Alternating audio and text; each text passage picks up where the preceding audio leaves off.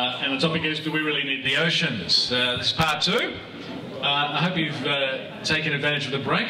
Now we're going to have to. We've been discussing a lot about fisheries and the stuff that we extract out of the oceans when it comes to food. We haven't talked about, and we, we kind of mentioned that the oceans do other things than just provide us with food. But um, there's actually there's actually a bit of um, bit of concern about climate change and the oceans, isn't there? You kind of allude to it, Maria. But one of the things I, have been reading a lot about is that um, the ocean's becoming a little bit more acidic. And that's a bit of a problem, is it not? Absolutely. Now, ocean acidification, well, the oceans are not going below pH 7, which is what acid is. However, the oceans are going from a mean of pH 8.2 to they might go to 7.8. Doesn't sound much, but it's a massive increase in the number of hydrogen ions that are in the ocean. What's, what's say, a glass of water in comparison? Uh, glass, uh, it's very basic. Closer to 8, 8.5. So 8 is where you want to be, is it? Yeah, you'd want the oceans to stay at 8. But the interesting thing about ocean acidification, there's some other insidious things that are associated with ocean acidification. Number one, you put CO2 into water, you have something that's called hypercapnia. Now, all of us know that you asphyxiate. You actually die if you get too much CO2. That's people kill themselves by taking too much CO2. What does CO2 do? It's narcotic. CO2 is a big narcotic substance, and what's happening is the increase of CO2 into seawater is just knocking them out. Oh, just go to sleep. Well, I might not wake up. I might just die. That's what's happening. So CO2 is um, increasing CO2 is you've got a direct acid effect. You've got a hypercapnic effect, which is called acidosis. Anyone who does human physiology knows that you don't want to go acidotic. And the third effect is you increase the amount of CO2 in the oceans, you decrease the amount of calcium carbonate availability. So you have animals that can have great difficulty now making a skeleton. What is the one thing that makes skeleton, which is a huge habitat provider? Coral reefs.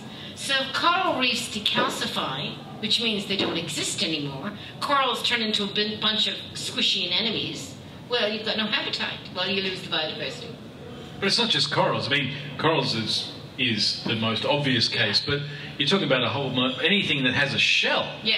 Can't actually manufacture a shell. Well, actually, the, the most difficult and most worrisome part on the planet Earth is the poles, Arctic. Co you know, everyone knows you've got colder water. You get more oxygen in colder water. You'll get more CO2 into colder water. So Antarctica which is not only warming faster than anywhere else on the planet, it's also getting more acidic than anywhere else on the planet. So calcifiers in the Southern Ocean are no longer being able to make a shell. The calcifiers are people, uh, those creatures that need creatures. to manufa manufacture shells. Yeah. Fish eat fish food. We're losing our fish food. Well, there you go, Tracy. I'm a little bit worried about you. Um, you stalk seals. Mm. Now, leopard seals. Leopard seals. So, yeah. you know, bad ones. Why? Why don't you just leave them alone? What's the point of stalking them and tagging them and plugging them with stuff? What's the story there? Everyone's got to have a job. this is your sick habit, is it? Um, the, the, work that, that we do, uh, our part of the program, sort of follows on from what Marie was talking about. Um, where our work is on the Western Antarctic Peninsula, and that's the, the place on Earth where the, the, the highest uh, change in temperatures being, being found. And up until this year, they thought it was just on the Western Antarctic Peninsula, and with satellite imagery, they worked out this year that it's actually all of the Western Antarctic. It's actually much broader than they thought. So you've got these high air temperatures, high water temperatures, we're losing sea ice, We've uh, krill are down by 80% over the last 30 years. Um, Adelie penguins disappeared in the area 15 years ago. Um, there's, they're looking for evidence, more evidence now of, uh, of um, um ocean acidification resulting in changes within the, the invertebrate community that have uh, calcareous shells.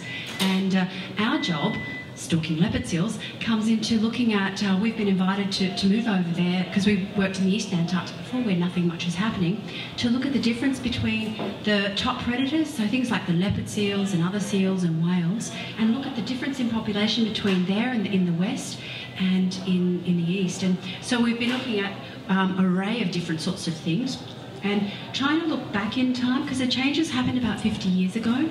And so we want to look back before that 50 year change. So looking at changes in food is one of the things we've been um, uh, um, hammering at. We were talking before about stable isotopes. It's actually useful for you as well because in your hair um, you can tell um, your foraging behaviour or feeding behaviour, but also your drug taking behaviour. And you wonder why athletes never have any hair.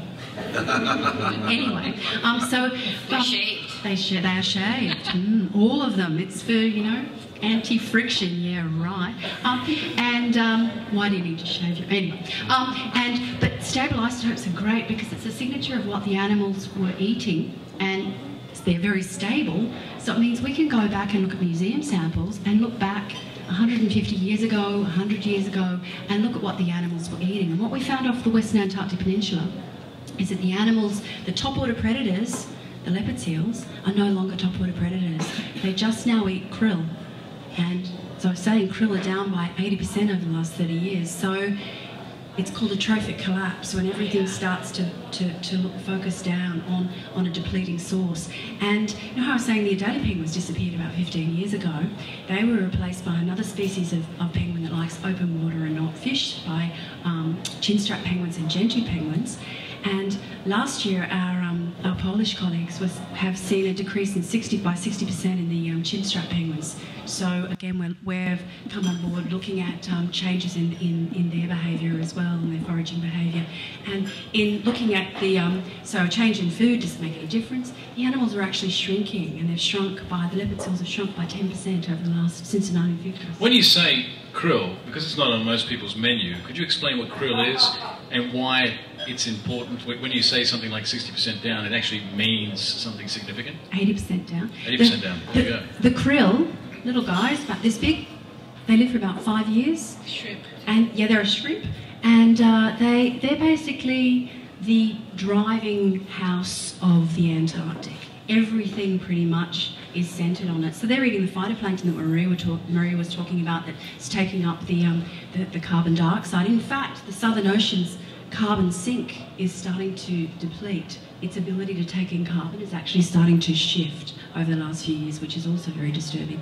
So the krill, these little guys, they're eaten by whales, by seals, by penguins. They're um, they're Also fish. fish. They're they're like the the um, the centerpiece of, of the Antarctic. So, and the reason you're looking at the reason, the reason you harass seals Mm, um, is because, as a top order predator, you can they go where the food is. So they actually give you a, a sense of what's happening in the food chain, don't they? The top order predator, if you think about all the, the, the things that are on the World Wildlife Fund's like hit list, tigers, lions, they're all top order predators. Your top order predators, there's usually not that many of them, and they're more vulnerable to change. What went missing in Tasmania, the thylacine, we work on them too, um, and that basically the, the top order predators are more sensitive to when change is going to happen, and, and, and that's what we see. So that's where the, the marlin fishery is actually quite quite disturbing. Um, and uh, so for us, with the work that we, we're working with a whole stack of other people looking at other parts within the system, the glaciologists looking at changes in the glaciers, the oceanographers looking at changes in ocean chemistry, sediments, etc., etc. So we're a piece in this big, massive puzzle, but it's an important piece. So stalking seals can be very, very, very fun, but it's also very important. Well, there is, as we discussed a little bit earlier, there is one top order predator that's doing rather well, isn't that, Brad? yeah, it's us. We're doing okay. There's what nine billion of us now, something like that. But um, we're probably the uh, we're the gun, um, um, I suppose, resource user on the planet. But there's probably a hell of a lot more ants and cockroaches around there, so we're we're probably not the greatest uh, species in number of abundance. Anyway, but um, Well, we should talk about those species that don't have a particular benefit to us, but, you know, actually they do stuff, don't they? I mean, I, I wanted to ask sea cucumbers, can we actually put them in a salad? Maria? Oh, you can if you're Chinese. Really? And good for the libido as well. So what do they do? What do sea cucumbers? I mean, look, there's a whole ecosystem out if there. I know the Chinese, they're an aphrodisiac. yes, that's right. well, they poo a lot, they eat a lot, and That's they nutrients? wee a lot. So the one thing which is important in syst- uh, in a lot of marine systems, is how on earth can you have such biodiversity when there's nothing to eat? Well, the whole thing can be driven by big things that eat sand. And these sea cucumbers eat sand, poo it. They're like the vacuum cleaners of the reef, keeping the place in good nick. So they're like your house cleaner. Wow. Yeah. And, if you, Wow. and my daughter thought it was a big joke. She gave me a Christmas present, and the card had the back end of a sea cucumber pooing, and she thought it was a big joke from her. But there, there, there are a whole range of things, ecosystem services, they call Yeah. them, um, that we don't, we, we blindly ignore, but actually is done by this range of biodiversity out there. It's not like, it's not like we don't need the oceans and we don't need what marine life does. Can you give us a couple of examples of kind of benefits that we as a species and all species benefit from having marine life? Well, from the oceans, uh, our weather. We wouldn't have rain if it wasn't the, the you know, we didn't have the oceans. And look at what rain does for us. Yeah, Puts, puts water in the river. it's not bad. They it? draw it out down the brewery. They make beer out of it. We're at the pub tonight. Do we need the ocean? Of course we do. Next question. Wow. We wouldn't have beer if we didn't have the ocean. That's fantastic. now you got to walk me through it, Tracy. Remember, I'm a journalist, so you need to walk me through it very simply. Um, how do we get rain from the oceans?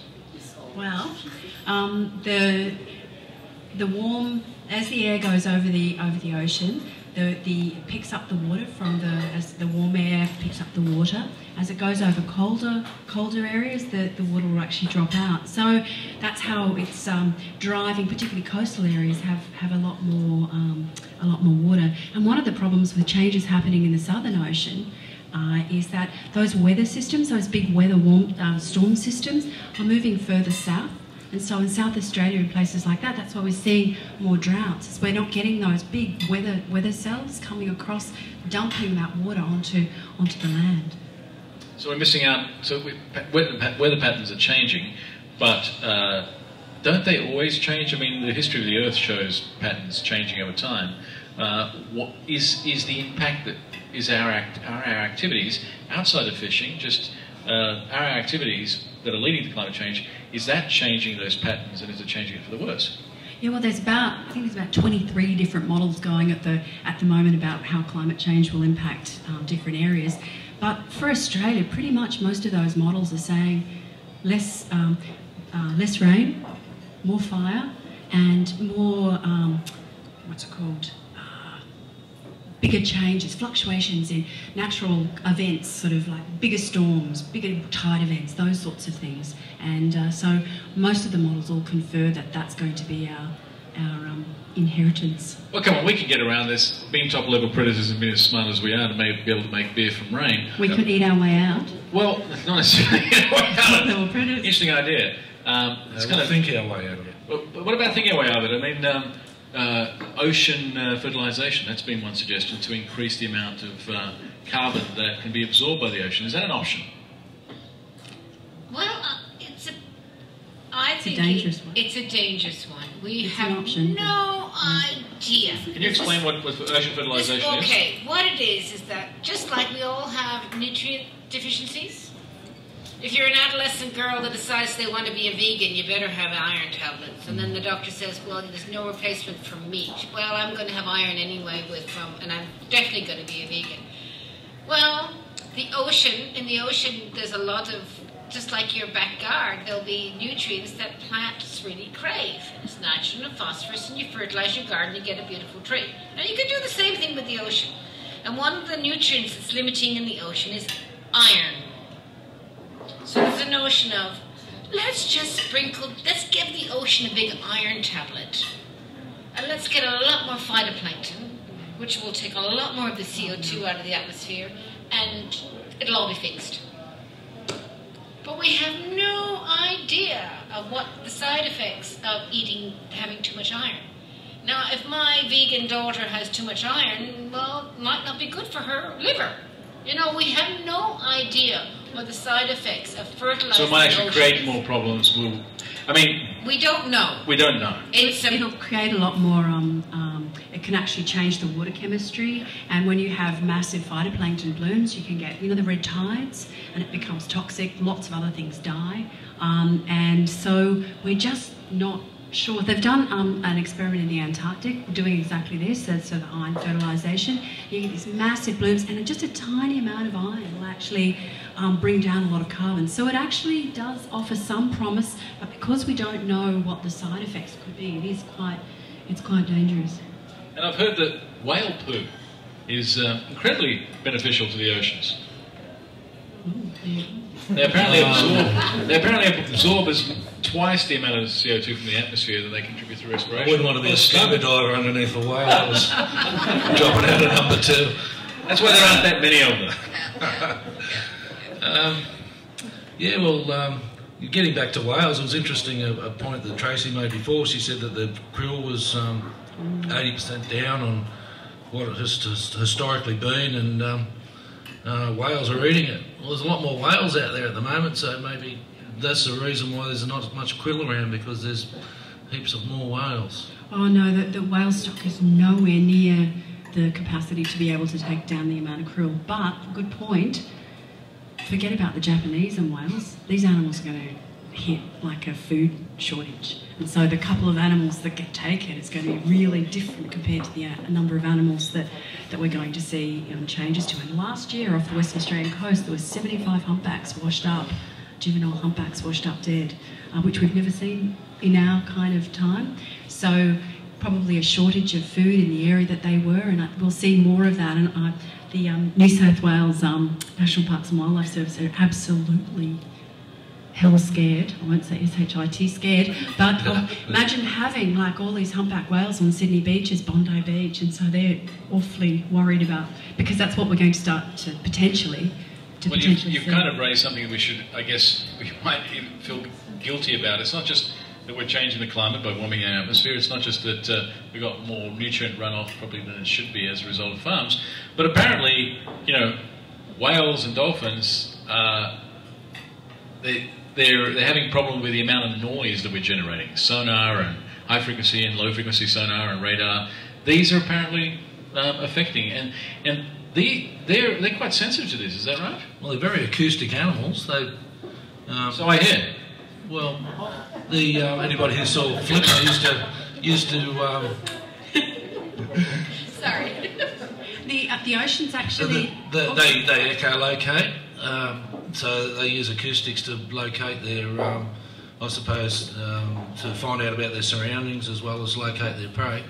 And it's interesting that we you talk about acoustics um, because there's um, work being done at the moment um, with regards to utilising acoustics um, to minimise interactions of um, whales and dolphins with set fishing gear. These things are called pingers, and um, uh, they're being used um, up in northern Queensland at the moment, and um, being trialled, and they've been pretty successful. So So does that mean that with the pingers, the whales will avoid the fishing gear? the the, the, the particular pingers that have been um, utilised at the moment are for, for for dolphins. The frequency is set for uh, a frequency that um, dolphins can um, pick up on, and um, just alerts them to the fact that there's something there, and um, they stay away from it. The, um, the world's oceans have um, increased in noise by 10 decibels, which is actually a lot, and it's the same frequency that because of shipping, but it's the same frequency the blue whales all talk to one another, and the blue whales worldwide have actually shifted their frequency. They've gone down to try and maybe move out of this out of this frequency. We should explain that they actually talk over massive distances. Yeah, um, thousands of kilometres. So those, those sounds have to actually travel enormous distances through the. And people know this for sure because they've watched whale song change over time Yeah. as a result of people in, of, of whales, sorry, not people, uh, whales in the northern hemisphere starting a song and then it continued in the southern hemisphere thousands and thousands of kilometres away. Yeah. But what's really interesting about sound is that when you look at baby fish, baby fish have googly eyes and huge ears. Guess what? Who's listening? Baby fish. That's how they find home. If you muck up with sound, that's the other thing that's preventing fish from finding home, is all this noise. But is the noise that significant? There is that, that much, or is it because the technology that we use actually reaches dram- you know, has a dramatic footprint, if you like. What, Ships are really, they have that low drony noise. It's the same as the big blue whales. It's, it's, it, it travels a long way. Low frequency sound travels really, really So even the propellers. yeah, well, yeah, the propeller and baby fish and the engine noise. can actually know the sound of a reef. They're, they're showing these fish that are just swimming willy nilly in the sea, and all of a sudden, I hear waves. I hear waves. Ah, home is this way. So then they start swimming home. And they go straight into a propeller. Hopefully not.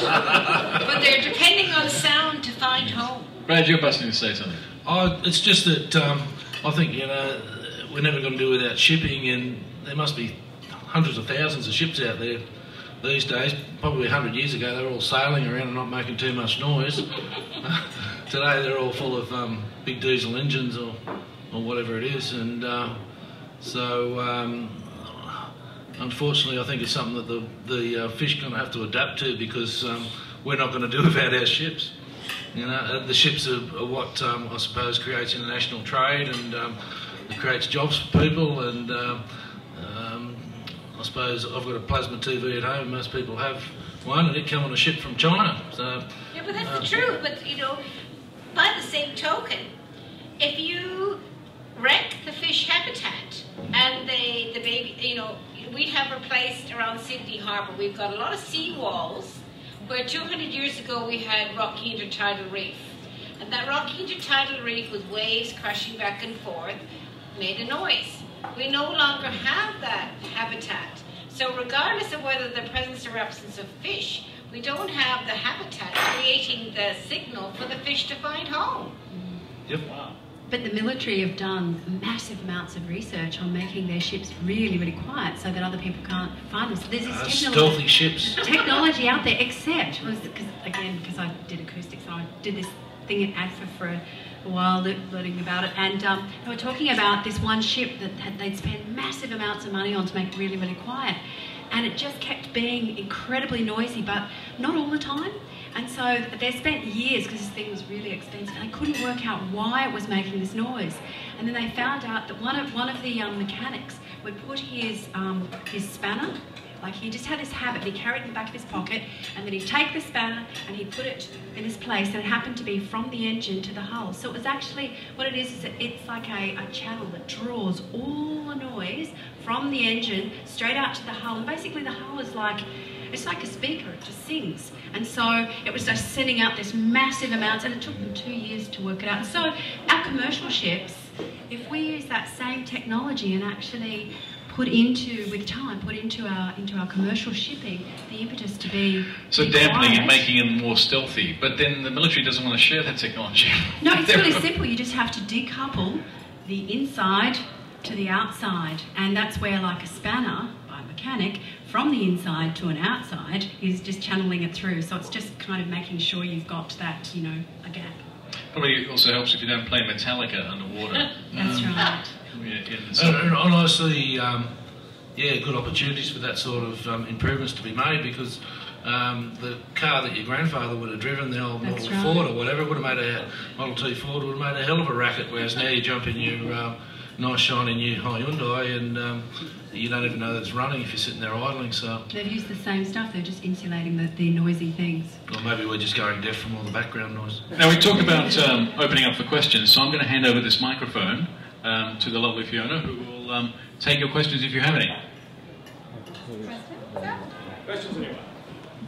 You've, um, you've, you've talked about a range of things, and um, I guess as a sort of come away kind of statements from this, we've, we've heard some very depressing things, like 80% of the krill is lost and the whales are starving and the baby fish can't hear. The only sort of happy thing I heard is that we can basically eat any fish that we like in Australia, and I feel great about that. Can you give me uh, something positive to take away in, in terms of what we as consumers, I guess, can do um, towards preserving our oceans, or what, what just we as people can kind of keep in the mind in, in terms of preserving our oceans that we can do just at this kind of, you know, simple level as being an everyday person? Um, can I take that start? Um, make yourself aware of where your food comes from. So um, if you do go and buy a piece of fish, Ask the guy who's selling it to you where it came from.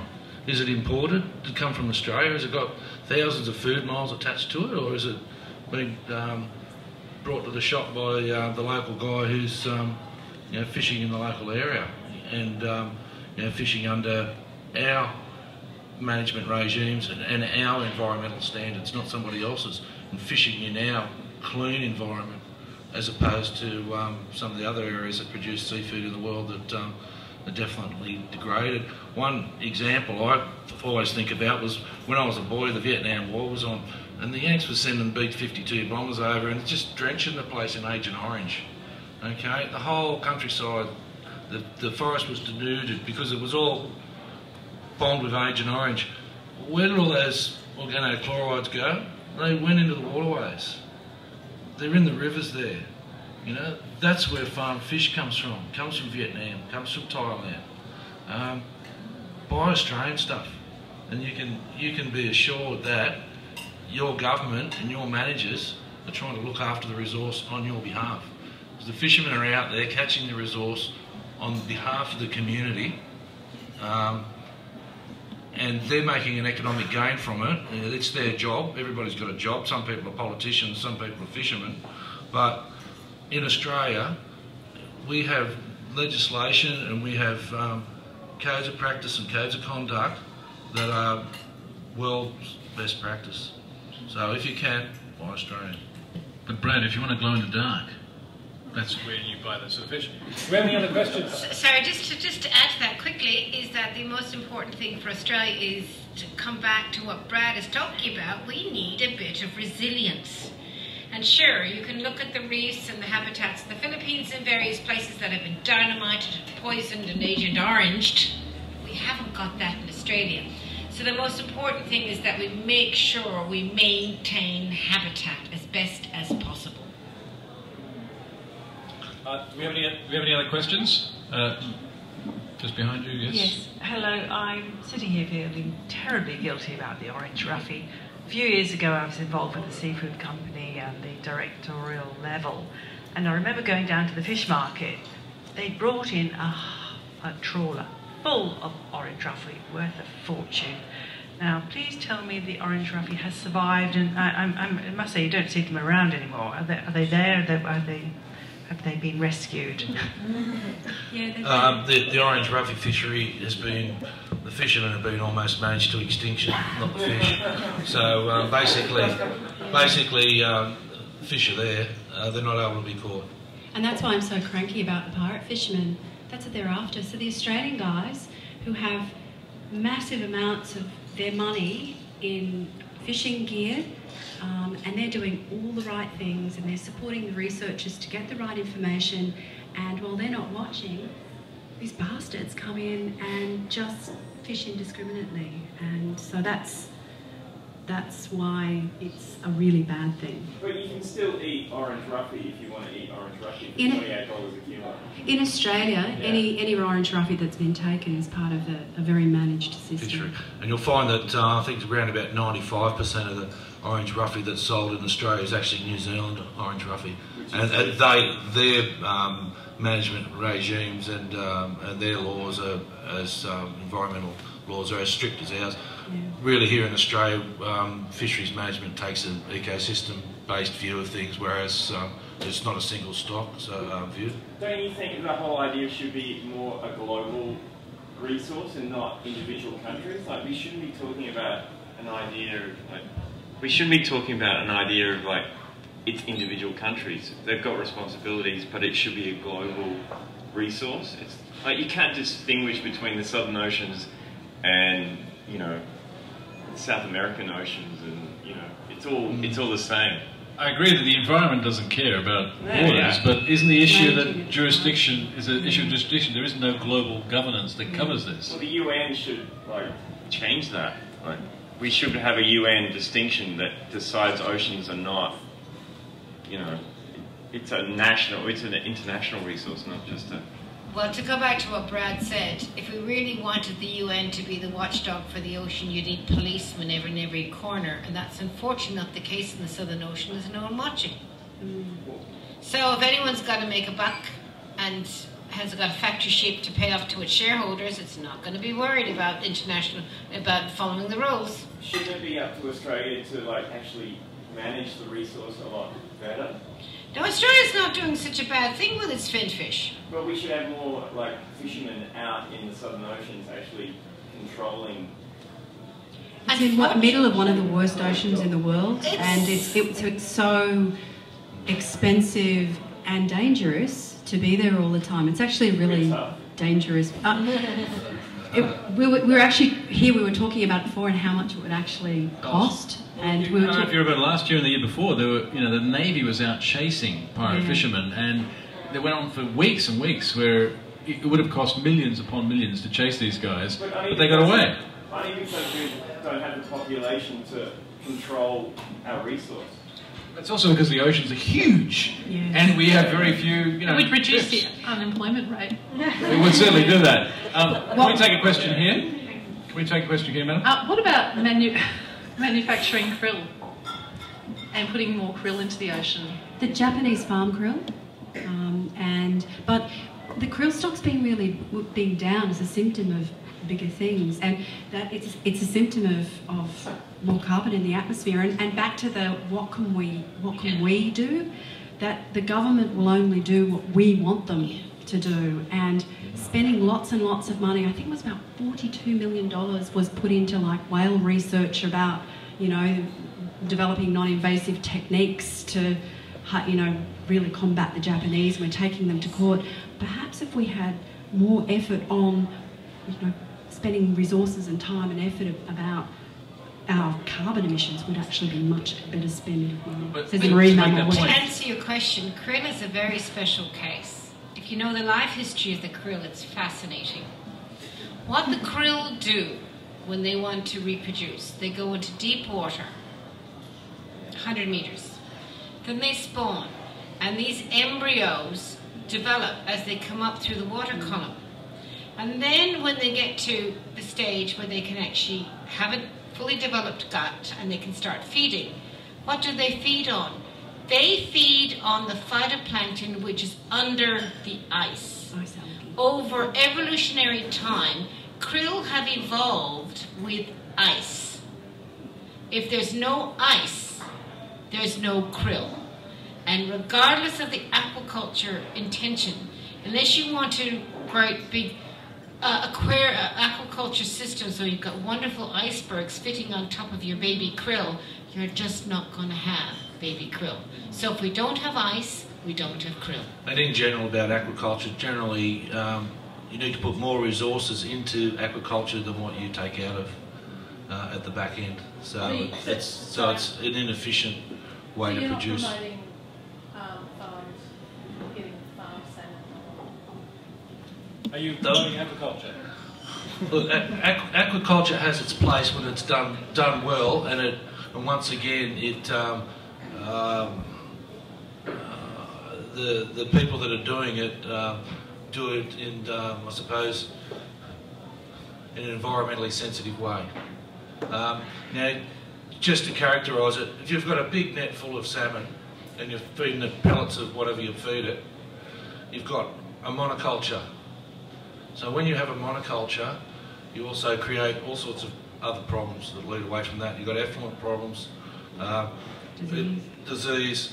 Characterise it by um, uh, by a farm. You, you you till the land, plant a um, field of wheat, and what do you actually do? You need to spray it with chemicals because you've just created the Garden of Eden for locusts. So you need to spray the, spray the wheat with chemicals to keep the locusts down. Similarly with aquaculture, if you have a monoculture of anything, um, you have, um, I suppose, consequences that you don't necessarily uh, um, bank on before, before you start it. But having said that, um, I don't mind aquacultured salmon. It tastes nice. Oh, we've got a question around the back. Hi, Linda. Uh, Brad, can I direct this to you?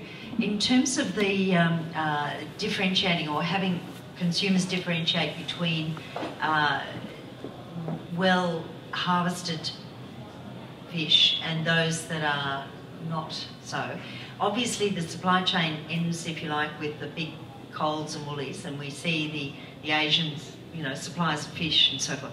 I, I, I'm just interested to know two things. One is, would there be sufficient safe fish, so far as you're concerned, to be able to supply Australia um, with Australian stock, safe stock, if you like, and so that we could actually just embargo the, the uh, Asian fish. And the second is, given that we're all very increasingly sensitive about avoiding the caged, you know, chickens and so forth, if we were to put a campaign together to migrate uh, us, you know, consumers from chicken, say, to fish, would there be sufficient volumes to be able to, to convert that protein?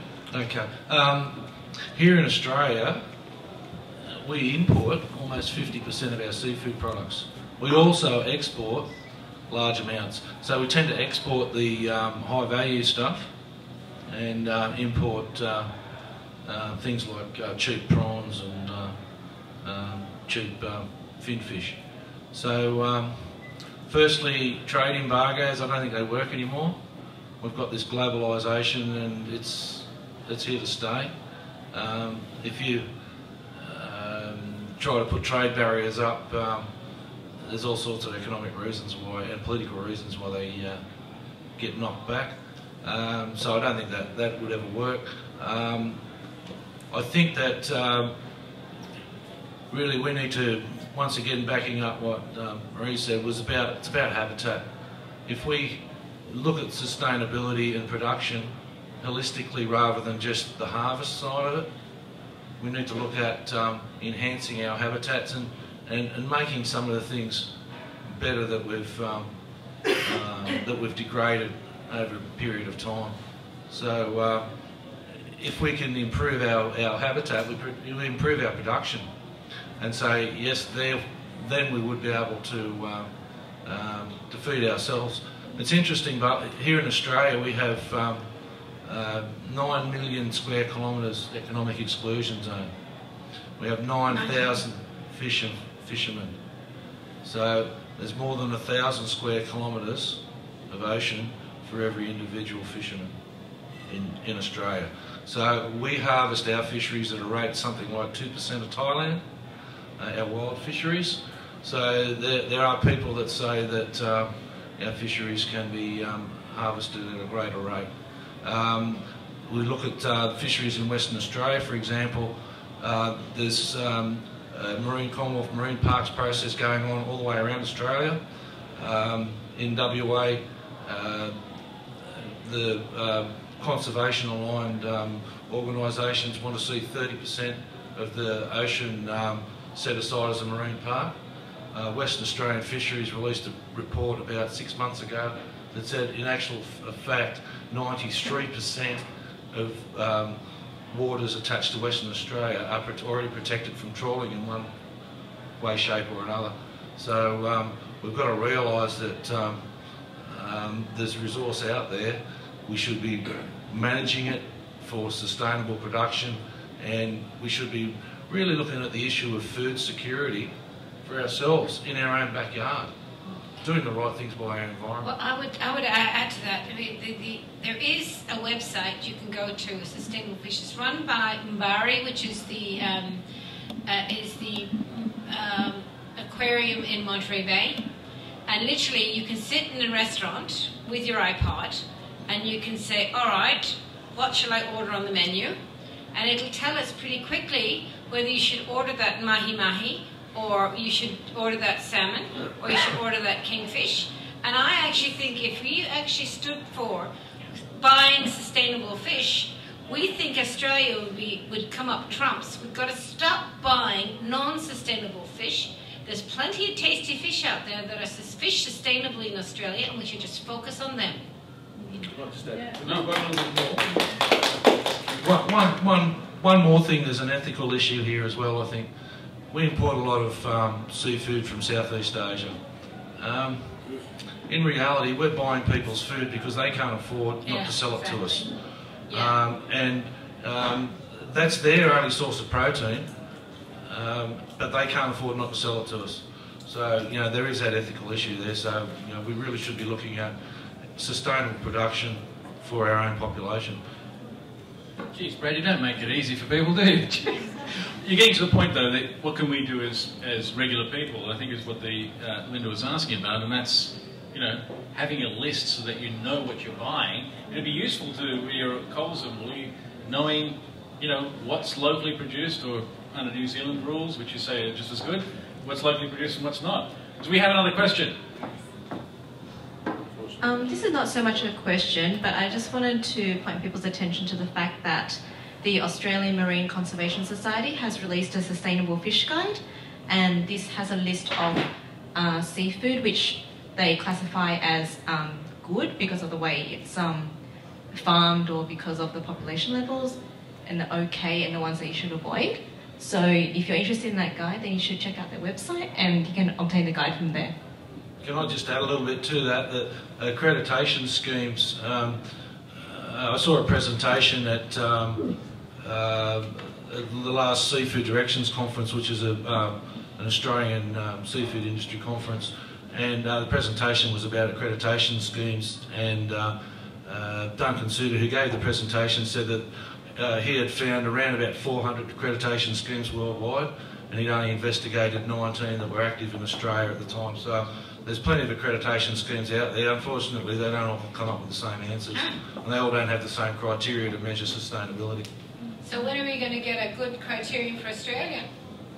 Um, well, in reality, the, the, question was put to Peter Garrett about um, two years ago uh, at a meeting that I was um, at with him, and it was it surrounded the um, the use of um, compliance. In his, in his, in his um, capacity as, as Environment Minister. Which he's no longer, but, but not in his capacity as leader of Midnight Oil. No, no, no. His capacity as um, uh, yeah, Environment Minister, and it was it was about the use of compliance to the Australian EPBC Act yeah.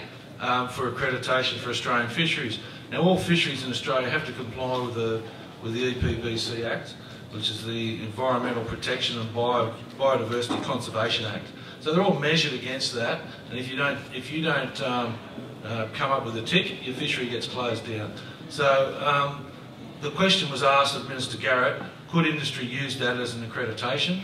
And um, he was very adamant about the fact that he didn't want to see the, that uh, industry's uh, compliance with that act, or fisheries, different individual fisheries compliance with that act, used as any sort of accreditation. So what that sort of means is that the fishermen are, are being are paying to be measured by the government against the government's sustainability criteria. And then there's a whole bunch of other people out in the marketplace wanting to charge the fishing industry to accredit their products. So um, it's a mess. It's a big mess. It's an absolute mess, and that's one thing we need to write some to the standardisation. New, the new environmental minister. We should all write him letters. He's got to get his act in order with respect to sustainable fishing in Australia, so we can all know what to buy. Who is it? Greg Combet. Oh, oh my God. The new, the new, the new fisheries minister, uh, the new environment minister The is Tony in Burke. It's Tony Burke, and he's uh, he was the former fish, fisheries minister, so he's across a lot of these issues.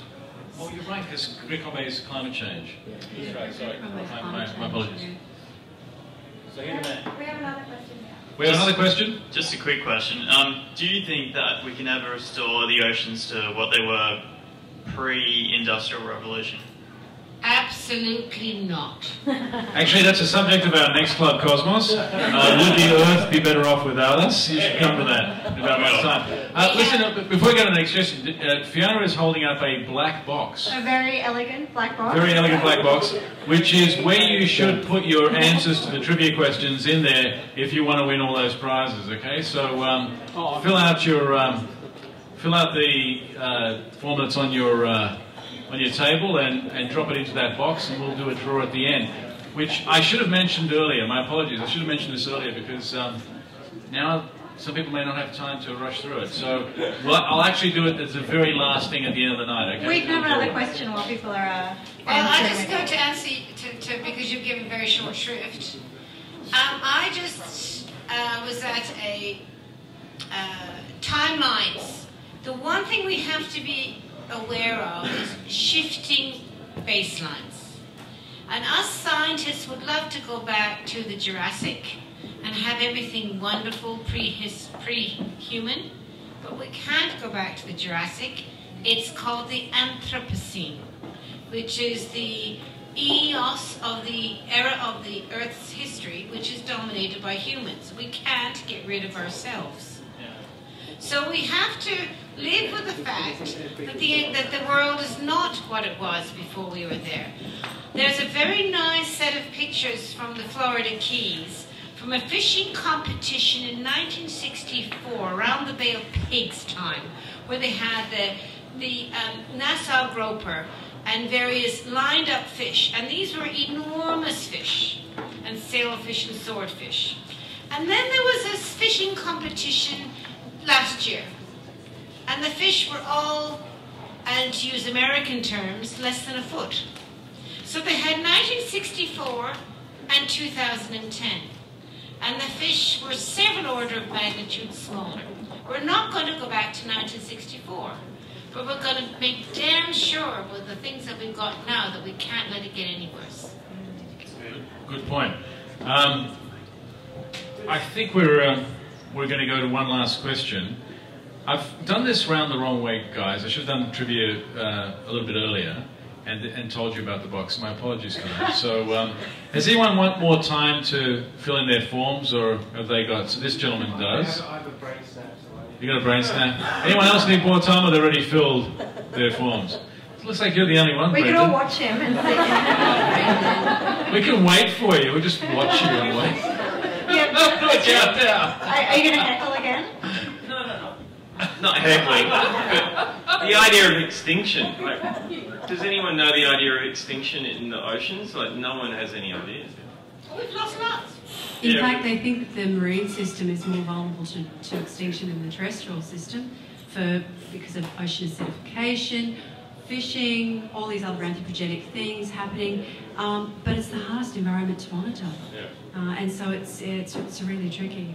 What about the Great Barrier Reef in particular? Because I'm always looking for that statistic, you know, what have we lost in the Great Barrier Reef? just wait, Heather, could you just wait Yeah. for the mic to reach? The, the question was, uh, The, the question was specifically in the Great Barrier Reef, um, how can we measure what, what we've lost there? Or, or if we can't measure that, what can we do to, to ensure that we can measure that, you know, now or soon? Well, I don't think we've lost that much. Because the Great Barrier Reef was a, has been a marine park for a very, very long time. And what we've lost are the big fish. We've lost the wrasse that were the size of a dinner table. We've lost the sharks that were five meters. We've lost the big ones. But we haven't lost the species. Oh, I'm a surfer, just I don't got- mind them five metre sharks going missing. no, no, no, no. It's just that there was these massive fish in the in, first in the Capricorn Bunker group, which were fished in the in the night. But that was the time when they had the turtle. So they were lost by fishing rather than being lost by lack of food, as in Yeah, it was just game fishing at the time. So we're not going to go back there. That raises a question: Are there are there some species that actually, you know, our impact in the terrestrial environment has led to some rubbish species coming along, feral species and uh, weeds and a whole range of things that uh, we try and suppress? Is the same happening in the oceans? There's some species that are now blooming that we, we should try and pull back. We have no choice. Uh, what's going to happen is there will be a new status quo, which, where it's called a cosmopolitan biodiversity. We have species like Crassostrea gigas, which is the Australian oyster, which is in Canada, Japan, Africa, Europe, Australia. So what's going to happen is we will have the same niche, which is the same place in the environment, occupied by non-native species, which will probably provide the same ecosystem services because it's what's called ecological redundancy. We will lose biodiversity, but it's not doom and gloom because it'll be replaced by something else which is not native, which might do the same job. So it's globalization in a different way. Yeah, sir, you have a question. Uh, just a quick one. And like, have you guys heard of the uh, global census into marine life that Yes. recently occurred? According to that, by the year 2050, uh, at the rate we're going now, we will see the entire extinction of basically uh, fishable uh, waters or fishable land sort of stuff, I guess, obliterated. Uh, do you think that uh, you know, at the rate we're going, we can stop that. Can I answer With the population obviously climbing to almost seven Well, firstly, yeah, you mentioned population, Nine billion. and that, that's a huge, a huge pressure. But, but I think what you're what you're um, referring to is um, uh, a paper written by um, Boris Worm that was picked up by the End of the Line movie, and really that was um, was uh, flawed science because um, what the science uh, was based on was um, they used. Um, catches of fish from commercial landings of fish as an indicator of uh, uh, fish population health. Um, but what they didn't factor into it was the fact that um, a lot of fishing effort has been taken out of the world's oceans. So um, if you if you look at uh, any fish stock that's fished at a certain level and then you take the fishermen away and nobody's catching the fish anymore, statistically it looks like the fishery's collapsed. Whereas in actual fact, it may um, be um, in a better state than what it was previously. Now, um, Boris Worm and uh, Ray Hilborn got together, who were at different poles of this argument about the world's oceans about to collapse. Um, did some uh, work together, and um, and uh, Boris Worms retreated from that statement that there'd be no fish in the oceans by 2047, I think it was. I agree. I mean, the, the one thing that really gets my nose out of joint is my fellow scientists that are the doom and gloom, doom and gloom, uh, chicken little, the sky is falling. For God's sakes. We've had changes ever since humans arrived on the planet. But it's quite true. We are losing species at a place of knots on, in the sea, just as they've been losing at a pace of knots on the land. That's the bottom line. We are losing species. And we're losing species for a whole plethora of reasons, from mismanagement to climate change to pollution. So we are not going to have the same status quo that we had before the Industrial Revolution. There's no going back. We're not going there. But it's no case that um, species never disappeared before. Spe- extinction has been a, a, a facet of, of history of the planet since the 95% of everything that ever lives is extinct. So, but it's just the rate of extinction that's suddenly high. Well, for instance, there's a called in Australia because we moved through 23 degrees north of latitude when Gondwanaland broke up. So there's no no surprise that we have funny little things like kangaroos and marsupials and what a funny terrestrial environment we have. We also have a very unusual marine environment, which is very special. We have the greatest endemicity of marine species in southern Australia. Nothing is endemic in the Great Barrier Reef. That's shared right through East Africa to Hawaii. But we've got a lot of endemic species, and we may lose a lot of them. And that's just, and we'll lose a lot of them because of climate change. But we're not. It's, but they will be replaced by something else, the, because, and it will not be life as we know it, and we just have to face it. I'm going to have to wrap up, but rather than finish on that rather doom Doom gloom, and gloom, that's reality. how about we finish on this? What's your favourite marine species? Each one of you tell me. My favourite species, a brittle star. And why? Well, they're so interesting. They move around the um, seafloor in stealth like little snakes. They're lovely. And they're quite beautiful as well, very colourful. What do they eat? They're suspension feeders, so they, ju- they're, they don't have any big impact. They just eat phytoplankton. And they go really well with sea cucumbers. Yeah. Tracy? Um, mine would be blue ringed octopus. Um, Another invertebrate! Well, I grew up in Queensland, in a big old Queenslander on the beach, and as a kid, that's what I used to do was I'd collect blue ringed octopus, and I had tanks of them, and that's what I wanted to do was study their venoms and toxins. They're just brilliant. You started stalking leopard seals. And I ended up stalking bloody leopards. Um, my favourite marine species, I think, would have to be the um, the Australian tall willowy blonde um, in a bikini with a surfboard around. I thought you were talking about species All right, thank you so much, Brad. right. Um, before we wrap up tonight, um, we and, and I thank our, our fabulous guests.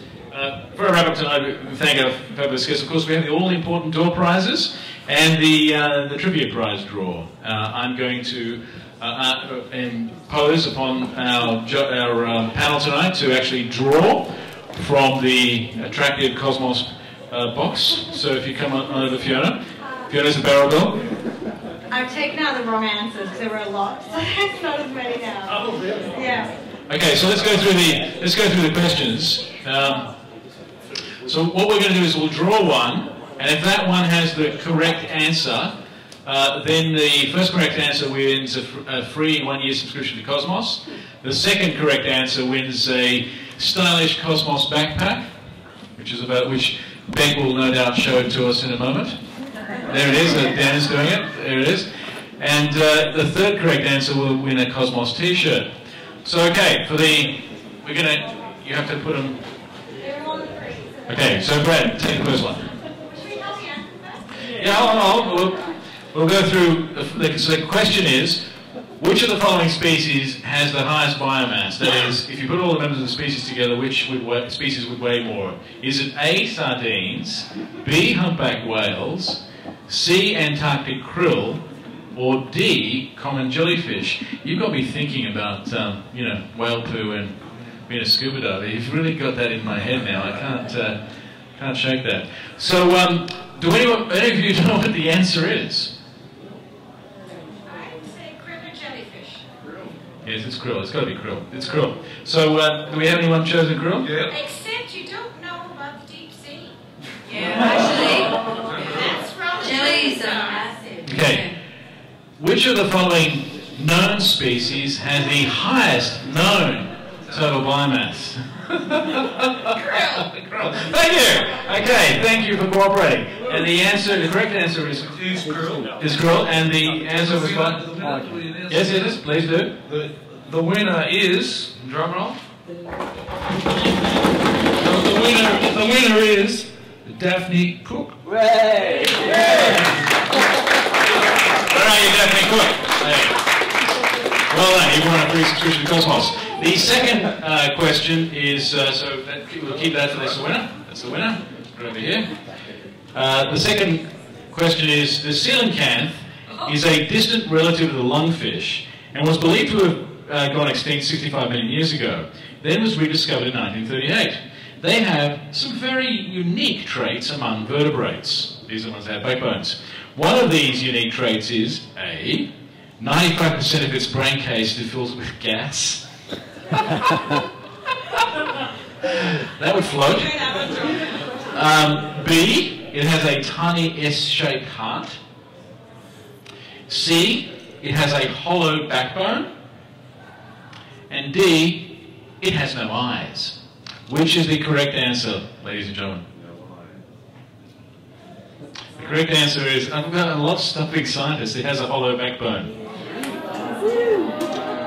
And who got, oh, we correct? Who is it? Uh, Curie Bilby. Kieran Bilby!